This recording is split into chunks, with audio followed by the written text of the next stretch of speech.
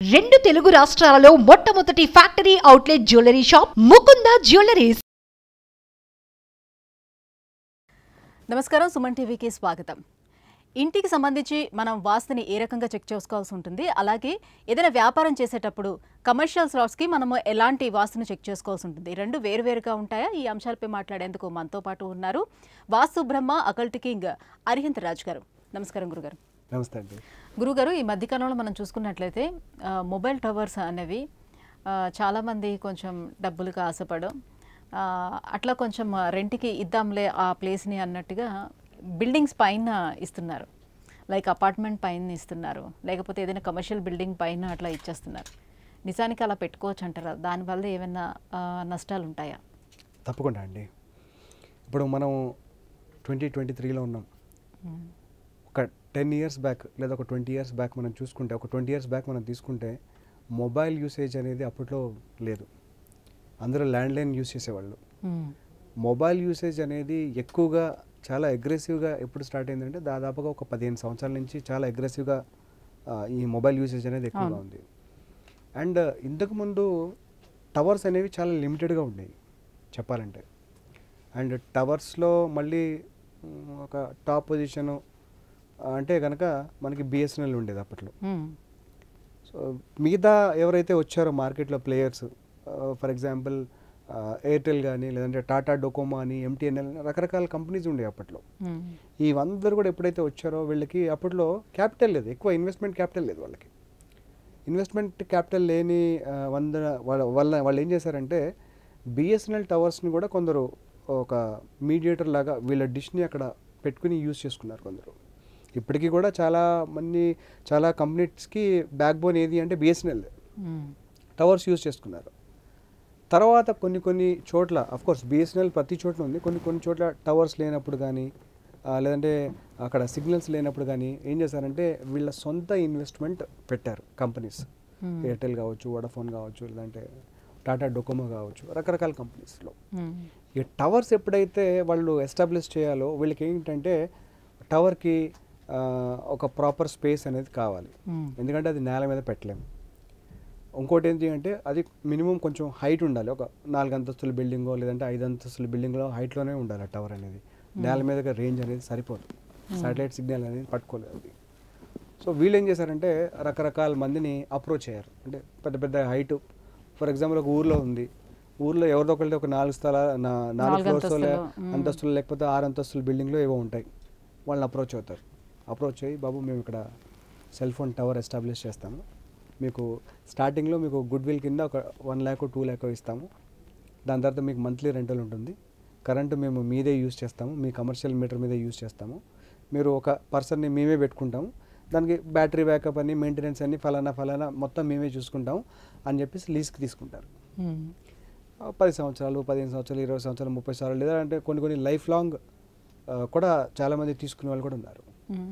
ఈ life long తీసుకున్న వాళ్ళు ఏదైతే మనీ తీసుకున్నారో వాళ్ళు అగ్రిమెంట్కి వెళ్ళారో లేదంటే ఒక twenty years agreement fifty years agreement ఏదైతే వీళ్ళు వెళ్ళారో వీళ్ళందరూ కూడా డబ్బులు తీసుకుని వాళ్ళకి నరకానికి టికెట్ కన్ఫర్మ్ చేసుకున్నట్టే మ్మ్. అంత భయంకరమైన ఒక ఇంధనాన్ని మనం తీసుకొచ్చి మన ఇంటి మీద ఎస్టాబ్లిష్ చేసుకున్నట్టే మ్మ్. ఉదాహరణకు నేను మీకు చెప్తాను. ఒక ఇంట్లో ఉన్న మైక్రోవేవ్ ఐరన్. ఐరన్. మన ఇంట్లో ఒక మైక్రోవేవ్ వేవన్ మైక్రోవేవ్ ఓవెన్ ఉంటుంది. ఈ ఓవెన్లోంచి వచ్చే ఒక రేడియేషన్స్ ఎంత హార్మ్ఫుల్ అంటే ఒక పర్సన్ని ఒక మినిమం ఒక ఆ ఓవెన్ ఏదో ఒక టెన్ మినిట్స్ నడిచింది అనుకోండి. ఒక టెన్ మినిట్స్ ఆ పర్సన్ అక్కడే ఉంటే కనుక మీరు అబ్జర్వ్ చేయండి. కావాలంటే వీడియో చూసే ప్రతి ఒక్క ప్రేక్షకులు కూడా అబ్జర్వ్ చేయొచ్చు. నేను ఇది ఓపెన్ ఛాలెంజ్ చేస్తున్నా. టెన్ మినిట్స్ మీరు ఓవెన్ని ఆపరేట్ చేసుకుంటూ ఆ ఓవెన్కి నియర్ బై ఉండండి. విత్ ఇన్ ఫ్యూ సెకండ్స్లో మీ హార్ట్ బీట్ పెరిగిపోతుంది. ఓకే. మీకు తెలియకుండానే. అండ్ మీకు విత్ ఇన్ ఫ్యూ మినిట్స్లో మీకు హెడ్ కూడా స్టార్ట్ అయిపోద్ది. ఓకే. సో ఒక్క మైక్రోవేవ్ ఓవెన్లోనే మనం ఇంట్లో యూజ్ చేసే ఒక మైక్రోవేవ్ ఓవెన్లోనే ఇంత పెద్ద రేడియేషన్స్ ఉన్నాయి. అలాగే మనం యూజ్ చేసే ఒక ఇంటర్నెట్ రౌటర్. ఇంటర్నెట్ రౌటర్లో కూడా అది బాక్స్ చిన్నది అయినప్పటికీ కూడా అక్కడి నుంచి చిన్న చిన్న వచ్చే రేడియేషన్స్ కూడా మనకి హార్మ్ఫుల్లే. ఇవి ఏ రేడియేషన్ కూడా మన కంటికి కనబడదండి. అది మీ మైక్రోవేవ్ ఓవెన్ కావచ్చు లేదంటే మన ఇంటర్నెట్ రౌటర్ కావచ్చు లేదంటే మన సెల్ ఫోన్ టవర్స్ కావచ్చు ఏ రేడియేషన్ మన కంటికి కనబడదు. కానీ మన ఒంటికి మాత్రం ఖచ్చితంగా తెలుస్తుంది. ఎలా తెలుస్తుంది అంటే సెల్ ఫోన్ టవర్ పైన పెట్టాం. సెల్ ఫోన్ టవర్ పైన పెట్టడం వల్ల మేజర్గా వచ్చే ప్రాబ్లమ్స్ ఏంటి అంటే మనం సెల్ ఫోన్ టవర్ పెట్టడానికి టూ మెటల్సే యూజ్ చేస్తామండి. ఏదైనా సరే అయితే అల్యూమినియం అవుతుంది లేదంటే కనుక ఐరన్ అవుతుంది. మ్యాక్సిమం టవర్స్ అల్యూమినియం యూజ్ చేస్తారు. కొందరేమో ఐరన్ యూజ్ చేస్తారు. ఐరన్కి అల్యూమినియం కలర్ పౌడర్ కోటింగ్ చేస్తారు. ఎందుకంటే వాటికి కూడా రస్ట్ వస్తుంది. పౌడర్ కోటింగ్ చేస్తారు. ఈ మెటల్స్తోనే వాళ్ళు యూజ్ చేసేది. ఎక్కడ పెడతారు మళ్ళీ? బ్రహ్మస్థానంలో పెడతారు. Centre of the property. Centre of the property అంటే మీరు ఇప్పుడు సెల్ ఫోన్ టవర్లు ఎవరెవరైతే ఇళ్ళ మీద పెట్టించుకున్నారో కమర్షియల్ బిల్డింగ్స్ అయినా లేదంటే మన రెసిడెన్షియల్ బిల్డింగ్స్ అయినా వాళ్ళ దాంట్లో ఖచ్చితంగా క్యాన్సర్కి గురయ్యే జనాలు ఉంటారు దాంట్లో ఓకే అండ్ ఒకళ్ళకి ఒకళ్ళకి దేర్ కదా చుట్టుపక్కల ఉన్న వాళ్ళకి కూడా ఇబ్బంది చుట్టుపక్కల ఉంటుంది. వాళ్ళు కూడా ఉండే ఛాన్స్ ఉంటుంది ఆ ఆ ఇంట్లో ఉన్న వాళ్ళకి క్యాన్సర్ కంపల్సరీ వస్తుంది ఒకటి రెండోది స్పైన్ సర్జరీస్ అవుతాయి. మూడోది అపెండిక్స్ ఆపరేషన్స్ జరుగుతాయి. ఇంట్లో. మ్మ్. నాలుగోది మిస్క్యారేజెస్ జరుగుతాయి. ఐదోది చాలా ఇంట్రెస్టింగ్ రీజన్ అండి ఇది. చాలా చాలా ఇంట్రెస్టింగ్ రీజన్ డైవర్స్ కూడా దీనివల్ల అవుతుంది. వ్యూవర్స్ కూడా. ఓకే అంటే అంత పవర్ఫుల్ అనమాట ఈ రేడియేషన్స్ ఈ రేడియేషన్ మనం ఏం చేస్తున్నాం?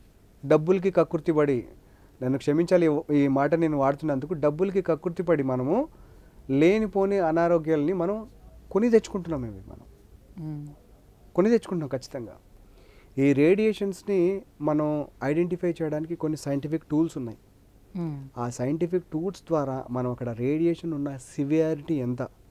మన దగ్గర ఈఎంఎఫ్ రీడర్ అని ఒకటి ఉంటుంది. ఎలక్ట్రోమాగ్నెటిక్ ఫ్రీక్వెన్సీ రీడర్ అని చెప్పి ఒకటి ఉంటుంది డివైస్. మనం ఏదో ఒక ఎపిసోడ్లో మనం ఖచ్చితంగా ప్రేక్షకులుగా లైవ్ చేసి చూపిద్దామండి. దానివల్ల రేడియేషన్స్ వల్ల ఎంత హార్మ్ఫుల్ ఉంటుందో. దాంట్లో మనకి గ్రీన్ ఎల్లో ఆరెంజ్ రెడ్ ఇలా నాలుగు లైట్స్ ఉంటాయి. మనం ఉన్న పరిశ్రమలో మన ఇంట్లో కానీ మన పైన కానీ మనం గ్రీన్ కలర్లో ఉన్నాము అంటే కనుక వీఆర్ సేఫ్ ఓకే. ఒకవేళ అది కొంచెం కన్వర్ట్ అయ్యి ఆరెంజ్ కలర్లోకి మారుతుంది సారీ ఎల్లో కలర్లోకి మారుతుంది అంటే కనుక ఒక చిన్న ఇండికేషన్ ఏదో ఒక రేడియేషన్ మన ఇంట్లో కొంచెం మనల్ని ఇబ్బంది పెట్టే ఛాన్స్ ఉంది. ఇప్పుడు ఖచ్చితంగా ఉంటుంది. ఎందుకంటే ఇంటర్నెట్ లేకుండా ఎవరు లేరు. రూటర్ లేకుండా ఎవరు లేరు కదా. ఇంటర్నెట్కి లిమిటెడ్ రేడియేషన్ ఉంటుంది. అంత హార్మ్ఫుల్ కాదు. అదే అదే అంటున్నాను మీకు. మన రేడియేషన్ ఎల్లోలో ఉన్నా పర్వాలేదు. మ్మ్. ఆరెంజ్లోకి మన రేడియేషన్ కన్వర్ట్ అయ్యింది అంటే కనుక మీకు ఇండికేషన్ వచ్చినట్టే. మనం జాగ్రత్తగా ఉండాలి. మనకి హెల్త్ ఇష్యూస్ రావచ్చు. మనకి క్యాన్సర్ రావచ్చు. లేదంటే ఇంట్లో డివోర్స్ అవ్వచ్చు లేదంటే యాక్సిడెంట్స్ అవ్వచ్చు ఈ ఇండికేషన్ మనకి ఆరెంజ్ ద్వారా వచ్చినట్టే. ఆరెంజ్ ఇండికేషన్ వచ్చింది అంటే మనం వెంటనే జాగ్రత్త పడిపోవాలి. మ్మ్. నెక్స్ట్ రెడ్ కలర్ ఇండికేషన్ వచ్చింది అంటే ఇండికేషన్ వచ్చింది అంటే కనుక ఖచ్చితంగా చాలా డేంజరస్ థింగ్ ఆ బిల్డింగ్లో ఆ ఇంట్లో జరుగుతుంది. ఏ రేడియేషన్ మన కంటికి కనబడదు. మ్మ్. ఇన్స్ట్రుమెంట్స్ చెప్పాను కదా ఇప్పుడు మీకు ఒక ఇన్స్ట్రుమెంట్స్ ఈఎంఎఫ్ మ్మ్. ఇది ఎవరైనా టెస్ట్ చేయాలంటే కనుక అమెజాన్లో అవైలబిలిటీలో ఉందండి. ఈఎంఎఫ్ అని కొట్టండి ఈఎంఎఫ్ రీడర్ అని కొట్టండి మీకు దొరుకుతుంది. దీని ఖరీదు నాలుగు వేల ఐదు వందల నుంచి ఆరు వేల దాకా ఉంటుంది. ఇది కొనుక్కుని ఎవరైనా టెస్ట్ చేయొచ్చు. అది కాకుండా మన వాస్తు రీత్యా మా దగ్గర కొన్ని ఇన్స్ట్రుమెంట్స్ ఉంటాయి. అది ఎంత సివియారిటీ ఉంది ఎంత హార్మ్ఫుల్ ఉంది ఇట్లో. మ్మ్. ఇంట్లో ఎవరు దానివల్ల ఎక్కువగా గురయ్యారు ఎక్కువగా బాధపడుతున్నారు అన్న ఇది కూడా మనం మన ఇన్స్ట్రుమెంట్ ద్వారా చెప్పొచ్చు. ఓకే. వాళ్ళు ఇమీడియట్గా యాక్షన్ తీసుకుంటే కనుక వాళ్ళ హెల్త్ని కాపాడుకునే ఒక ప్రయత్నం వాళ్ళు ఖచ్చితంగా చేయొచ్చు. హెల్త్ కన్నా నేను చెప్పాలంటే ప్రాణాలు కూడా కాపాడుకునే ప్రయత్నం చేయొచ్చు. ఎందుకంటే సెల్ ఫోన్ టవర్స్ వల్ల అంత పెద్ద రేడియేషన్ అక్కడ బిల్డింగ్ మీద పెట్టిన వాళ్ళకే కాకుండా చుట్టుపక్కల మీరు చూసుకుంటే దాదాపుగా ఒక కిలోమీటర్ కిలోమీటర్ వరకు దీని ఎఫెక్ట్ అనేది ఉంటుంది.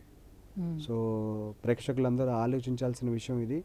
మనం రేడియేషన్స్లో ఉంటున్నాము టెక్నాలజీలో ఉంటున్నాము. మనకి ప్రతిదీ కూడా చాలా స్మార్ట్ అయిపోయింది. మనం ఫ్యాన్ ఆన్ చేయాలన్నా Alexa turn on the fan అన్న రోజులు వచ్చాయి గీజర్ ఆన్ చేయాలన్నా Alexa turn on the geyser అని చెప్పి అన్న రోజులు వచ్చాయి మనకి. సో టెక్నాలజీకి ఎంత అలవాటు పడుతున్నామో గమనించుకోండి. టెక్నాలజీ బ్యాక్ సైడ్ కూడా మనకి అదే విధంగా హెల్త్ ఇష్యూస్ వచ్చే ఛాన్సెస్ ఉన్నాయి. ఇది అందరూ కూడా గమనించుకోవాల్సిన విషయమే. ధన్యవాదాలు గురుగారు.